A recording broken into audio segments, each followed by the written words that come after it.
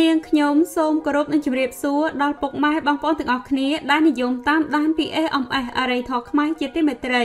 សូមពុកម៉ែបងប្អូនទាំងអស់គ្នាជួយចុចប៊ូតុង Subscribe រួចចុចប៊ូតុង Like និង Share ដើម្បីទទួលបានអត្ថបទថ្មីជារៀងរាល់ថ្ងៃនាងខ្ញុំសូមជូនហោរាសាស្ត្រប្រចាំថ្ងៃថ្ងៃប្រហោះ7កើតខែចេសឆ្នាំរោងឆស័កពុទ្ធសករាជ2568ត្រូវនៅថ្ងៃទី13ខែមិថុនាឆ្នាំ2024 សម្រាប់ពុកម៉ែបងប្អូនដែលចង់ដឹងពីយកជាតារិស័យលៀបសការៈលុយកាក់និងការធ្វើដំណើរថាតើត្រូវធ្វើយ៉ាងណាដើម្បីទទួលបានលៀបជ័យនៅក្នុងថ្ងៃប្រហោះនេះនៅពេលនេះនាងខ្ញុំសូមជម្រាបជូនដូចតទៅ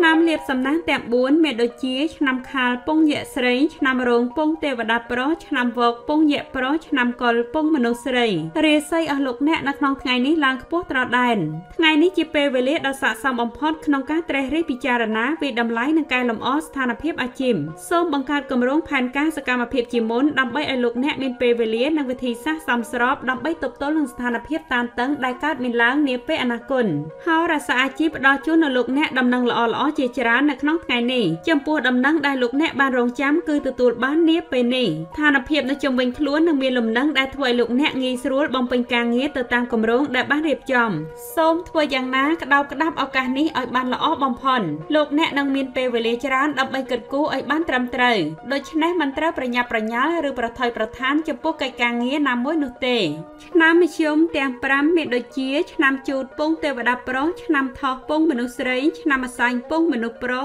ឆ្នាំមមែពងទេវតាស្រីឆ្នាំចពងយៈស្រីរាសីអស់លោកអ្នកនៅក្នុងថ្ងៃនេះល្អជាមធ្យមសូមព្យាយាមការពារខ្លួនអ្នកពីបញ្ហាឬទំនាក់ទំនងដែលមិនសូវចាំបាច់វាប្រសើរជាងប្រសិនបើអ្នកធ្វើតែការងារធម្មតាពីព្រោះទំនាក់ទំនងមិនសូវជាមានពេលវេលាគ្រប់គ្រាន់ដើម្បីបំពេញការងារធំដុំពេកនោះទេពេលនេះគួរប្រើពេលវេលាខ្លះដើម្បីយកចិត្តទុកដាក់ទៅលើការពិនិត្យវាតម្លៃគម្រោងផែនការពេលនេះតម្រូវឲ្យលោកអ្នកមានការសម្របទៅនឹងបរិស្ថាននៅជុំវិញខ្លួនជាច្រើន សូមលោកអ្នករក្សាគម្លាតពីទំនាក់ទំនងឬកាន់តែល្អប្រសើរជាងនេះគួរកុំតន់ធ្វើទំនាក់ទំនងថ្មីថ្មីហើយរក្សាអាជីពណែនាំឲ្យលោកអ្នកបំភ្លេចចោលនៅភាពបរាជ័យដែលធ្លាប់កើតមានឡើងកន្លងមកនៅក្នុងអនាគតដ៏ខ្លីខាងមុខនេះលោកអ្នករំពឹងថាទទួលបានភាពរីកចម្រើនលូតលាស់គួរឲ្យកត់សម្គាល់ជាយាមធ្វើទំនាក់ទំនងល្អទាំងក្នុងទាំងក្រៅនិងប្រកបដោយភាពស្មោះត្រង់និងជំនឿចិត្តខ្ពស់បំផុតសូមចាក់ចែងពីការជួបជុំទាំងឡាយណាដែលមិនតាក់ទងនឹងការងារនាំឲ្យខាត់បង់ពេលវេលាជាច្រើនសូមចាប់ផ្ដើមបំពេញការងារឲ្យបានរស់រាន់ជាមួយនឹងការកែលម្អនានារួមទាំងការតុបតែងរាងកាយផងដែរសកម្មភាពនេះមានអធិពលជួយឲ្យលោកអ្នកមានភាពស្រស់ស្រាយគំនិតប្រាជ្ញាភ្លឺស្វាងនិងអាចអនុវត្តដោយភាពងាយស្រួលឆ្នាំធ្លាក់ចុះទាំង3មានដូចជា ឆ្នាំឆ្លូវពងមនុស្សប្រុសឆ្នាំមមីពងទេវតាស្រីឆ្នាំរកាពងយៈប្រុសរាសីឲ្យលោកអ្នកនៅក្នុងថ្ងៃនេះស្រត់ចងហើយរសាអាជីពណែនាំឲ្យលោកអ្នកមិនឲ្យបាត់បង់លំនឹងនៃការគ្រប់គ្រងខ្លួនឯងនោះទេ មនុស្សដែលនៅជុំវិញខ្លួនអ្នកនឹងជួយជ្រោមជ្រែងគ្រប់គ្រងកិច្ចការងាររបស់អ្នកប្រសិនបើអ្នកបំពេញកិច្ចការងារក្រោមការទទួលខុសត្រូវនិងដោយព្យាយាម។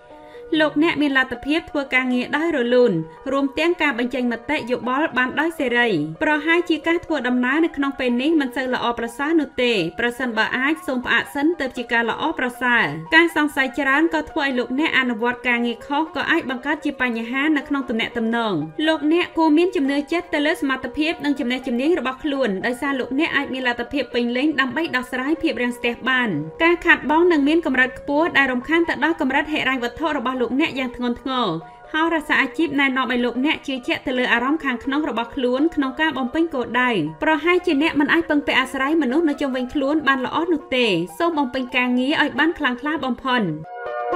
នាងខ្ញុំសូមអរគុណដល់ពុកម៉ែបងប្អូនទាំងអស់គ្នាដែលបានចំណាយពេលវេលាមានតម្លៃតាមដានហោរាសាស្ត្រប្រចាំថ្ងៃ